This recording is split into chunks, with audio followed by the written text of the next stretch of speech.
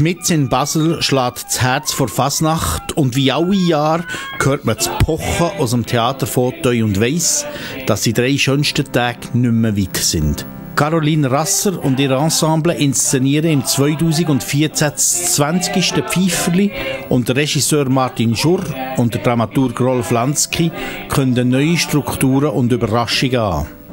Als Berner bin ich schauen, als Integrierter bin ich rausgekommen. In einem äußerst witzigen und gnadenlos scharfzüngigen Feuerwerk von Szenen zeigen uns die Schauspielerinnen und Schauspieler im Taburettli, was Integration à la Baloise bedeutet. Zuvorderst an dieser Front steht der Schwab und Bigott. Fasnacht muss sich vor dem Karneval nicht verstecken. Ich war noch nie am Morgenstreik. Ich war noch niemals mit dabei. Ich ging noch nie mit einer.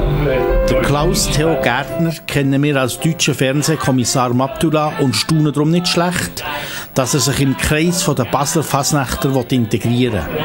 Dass das möglich wird, verdanken wir den musikalischen Einlagen, bissigen Schnitzelbank und einem bestechend guten Schauspielensemble.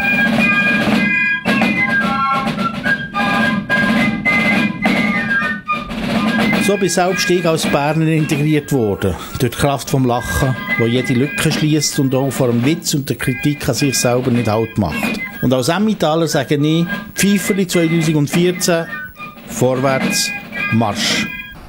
Schwoben können, vorwärts Marsch. Pfeiferli mit Radetzky-Marsch. Und das nächste Jahr, da macht man dann so Honigkehren munkeln. Die Armlehne da innen weg, sodass sie können schummeln.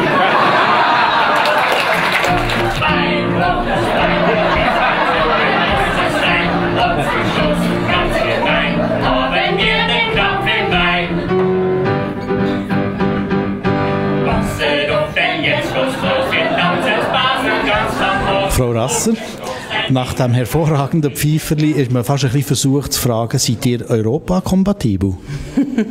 das wissen wir eben nicht so genau. Dem gehen wir da auf die Spur mit dem Pfeiferli. Aber integriert fühlt ihr nicht? Ja, also das habe ich mir gar noch nie überlegt. Wir sind so damit beschäftigt, andere zu integrieren. Ich weiß gar nicht, wo und wie ich noch integriert bin. Wie seid ihr zufrieden mit der Aufführung?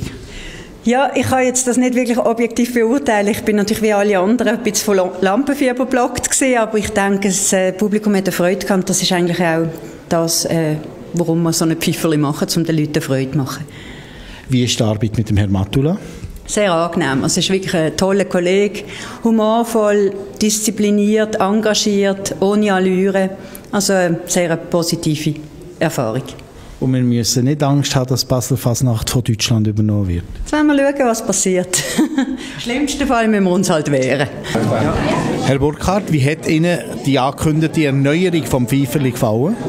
Unsere Fasnacht lebt von ständig neuen Ideen und auch wieder Veränderungen. Und das ist jetzt ein Weg, den man gehen kann. Ist ungewohnt. Wir müssen einmal zuerst erlebt haben. Ich finde es einen gelungenen Auftakt zur Fasnacht. Ich freue mich auf die Fasnacht. Ich finde, sie haben es gut gemacht. Kompliment äh, an die Schauspieler, die wirklich eine gute Leistung gebracht haben. Herr Wüttrich, fühlt ihr euch nach dieser Aufführung integriert? Das ist ein bisschen schwierig von meinem Dialekt her schon natürlich. Aber ich lebe ganz gerne in der Region und ich finde es so spannend, wenn man eben ein Stückchen von außen kann die Brüche, die Kultur oder das Zeichen, das hier üblich ist und verbreitet ist, lernen kennen. Hat Ihnen der Herr Matula gefallen?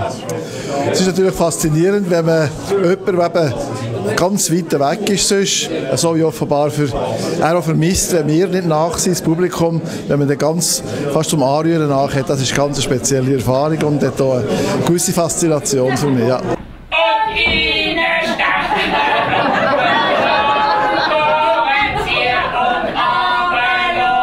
Herr Stolz, wie haben euch die angekündigten Erneuerungen vom Pfeiferli gefallen?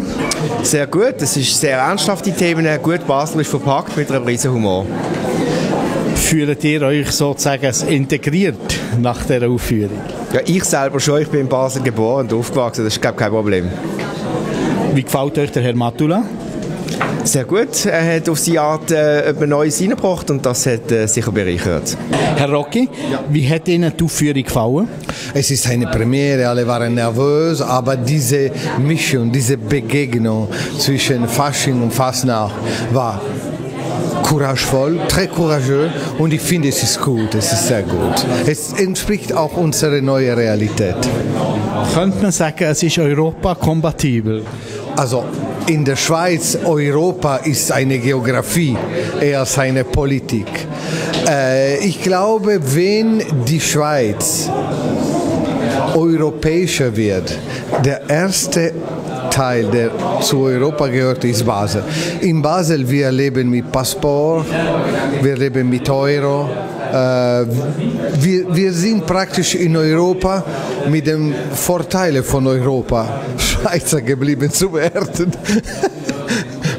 In diesem Sinne, ja, ich glaube, äh, wir wissen, was Europa ist, mehr als wahrscheinlich andere Teile der Schweiz. Und wir haben Deutschland, wir haben Frankreich, aber wir bleiben Schweizer. Danke vielmals. Herr Bröckelmann, wird äh, Basel von Deutschland übernommen? Ich, ich würde eher sagen, äh, Deutschland von Basel.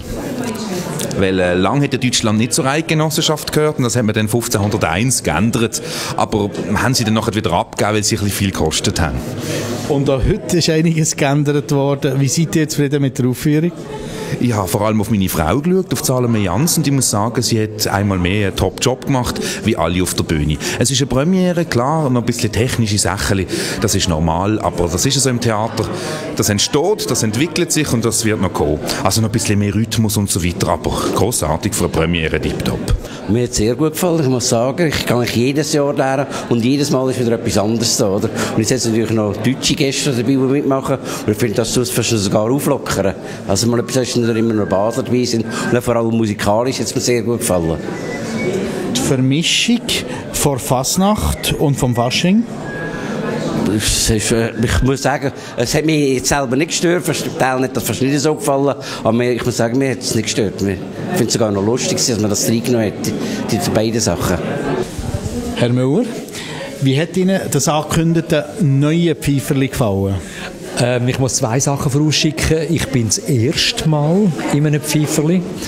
Also bin noch nie äh, in Genuss gekommen davon. Das ist also das erste Mal, dass ich es gesehen habe. Und zum Zweiten, äh, was viele Leute natürlich nicht wissen, ich bin nicht Basler, sondern ich bin Zürcher. Und äh, da schaut man das natürlich aus einer ganz anderen Perspektive an. Also ich bin natürlich da reingesessen und habe darauf gewartet, was kommen alles für Seitenhieb äh, auf uns armen Zürcher. Und äh, habe mich sehr, sehr amüsiert. Das ist wirklich, äh, es hat tolle schauspielerische Nummern drin gehabt, vor allem im zweiten Teil, die Frauenquotennummern, äh, am Anfang der Besuch von dieser deutschen Familie äh, bei dieser Basler Familie und äh, dann der Klaus Theo Gärtner natürlich, wo spannend war, einmal live zu sehen auf der Bühne. Und äh, dass man ihm auch Raum gelassen hat am Schluss für die, äh, für die persönlichen Worte, das ist sehr rührend, be berührend gewesen äh, und ich muss also wirklich sagen, es ist äh, es ist spannend und ich fange so langsam an, ein bisschen den Basler Humor, die Basler Freude an der Fasnacht, das, äh, das Leben von der Fasnacht äh, ein bisschen zu spüren. Und mit dem Inhalt vom Stück zu gehen, fühlt ihr euch jetzt integriert? Äh, nein, natürlich überhaupt nicht. Ein Zürcher kann sich gar nicht integriert fühlen in Basel. Da ist natürlich immer, das ist, äh, äh das ist der Rheingraben, das ist nicht der Röstigraben, oder wie man dem soll sagen. Äh, aber nein, es ist wirklich, äh, ich, ich finde es irgendwie schön, dass, dass die positive Rivalität zwischen Basel und Zürich besteht. Also, dass man das, äh, dass man das irgendwie aufrechterhaltet und äh, von dem her äh, habe ich mich da total geborgen und wohlgefühlt an dem heutigen Abend.